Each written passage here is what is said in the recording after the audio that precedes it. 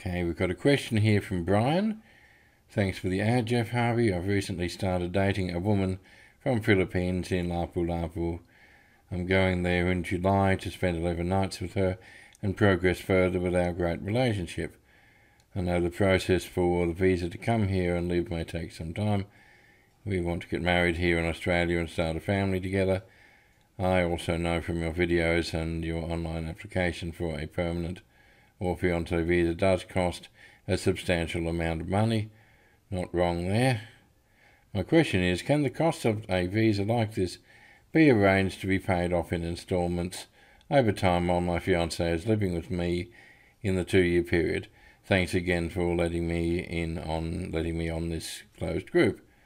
No problems. Um, yes, I would say that's a common question. The uh, the costs are substantial, uh, particularly the government fees, which are just shy of $7,000 for a partner visa or a fiance visa. Um, as for paying them off, well, the government are very inflexible about that. Uh, the payment is made in full at the time of the application being lodged. Um, there's no way they're going to allow that to be paid off. This is the government. There's no uh, there's no paying in instalments. They're not going to finance a visa application. That is revenue raising after all. Um, look, the same thing applies with our fees during the preparation time, where we have we are happy to get a down payment to start.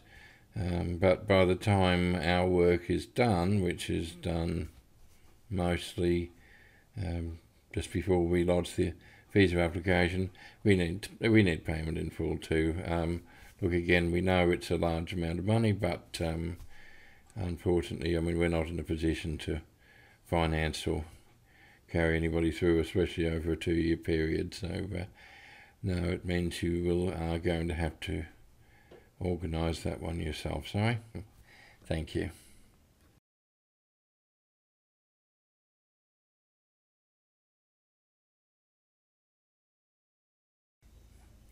This video was brought to you by Down Under Visa, who specialise in visas for Australian Filipino couples. Please visit our website and complete a free visa assessment form. And please watch some of our, our other videos. Thank you.